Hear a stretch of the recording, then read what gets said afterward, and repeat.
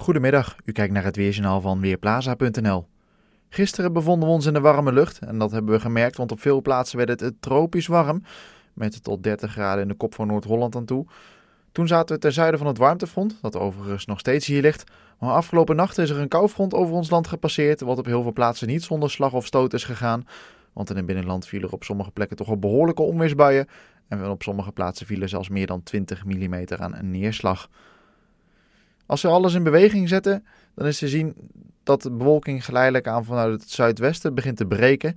Er komen steeds meer opklaringen onze kant op, al komen er nog wel een aantal buien voor. Met name in dit gebied, al die witte plukjes, dat zijn nog allemaal buien. Lokaal met daar nog kans op een klap onweer. Tussen de buien door is het inmiddels wel behoorlijk warm geworden, want in het zuidoosten van het land liggen de temperaturen gewoon weer tussen de 25, eh, rond de 25 graden voor de komende dagen. Dan even de uh, modelanimatie erbij pakken. Dan is te zien dat er vandaag dus bovenland behoorlijk wat buien aanwezig zijn. Lokaal dus ook met die klap onweer.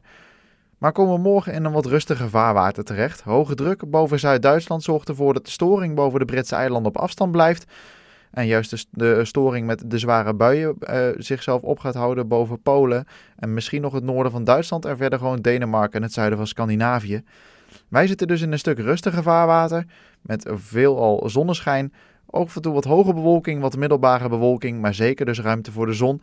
En uiteindelijk temperaturen van noord naar zuid van zo'n 21 tot lokaal nog 25 graden. Dan komt zaterdag de storing dichterbij. Is het in de nacht naar zaterdag nog droog. Misschien later in de nacht nog wat regen- en onweersbuien van het systeem in Duitsland. Wat nog het oosten en zuidoosten van het land aan kan gaan doen. Dat is nog vrij onzeker, maar een enkel buitje, die sluit ik niet uit. Dan komt zaterdag in de loop van de dag komt er vanuit het westen de storing dichterbij. En uiteindelijk boven ons land komen een aantal buien tot ontwikkeling. Opnieuw met kans op onweer, maar minder zwaar dan de exemplaren die we gisteren gehad hadden. Temperaturen dan van noordwesten naar zuidoost van 23 tot 27 graden. Met vooral in de oostelijke helft van het land gedurende de dag toch wel enkele perioden met zon.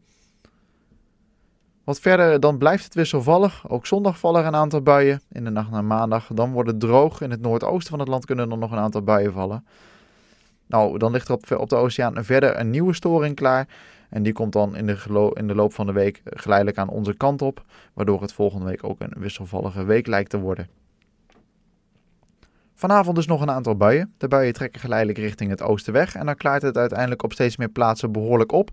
In de opklaringen kan vannacht een enkele mistbank ontstaan en de temperatuur daalt daarbij naar zo'n 11 tot 13 graden. Morgen dan een droge dag. Op veel plaatsen eh, ruimte voor de zon, ook wat hoge bewolking en middelbare bewolking, maar daar heeft de zon niet al te veel moeite mee. Temperaturen die oplopen van zo'n 21 graden in Groningen tot 25 graden in Limburg. En daarbij is de zuidwestenwind meest matig van kracht 3 boven land, windkracht 4 aan zee. In het weekend wordt het dus wisselvallig, met op zaterdag kans op enkele regen- en onweersbuien. Tussen de buien door gewoon wat ruimte voor de zon en lang niet overal zullen buien vallen. Sterker nog, er zullen ongetwijfeld een aantal plaatsen zijn waar het best aardig weer is de hele dag. Vrij hoge temperaturen, 23 tot 27 graden. Zondag is het beduidend koeler, maximaal 21 graden, ook dan een aantal buien. Ook dan is zeer lokaal een klap onweer niet uit te sluiten, maar de kans op onweer is minder groot dan op zaterdag. Maandag weinig verandering, opnieuw een aantal buien. De wind draait wat meer naar het westen, waardoor het waarschijnlijk ietsjes kouder zal gaan aanvoelen.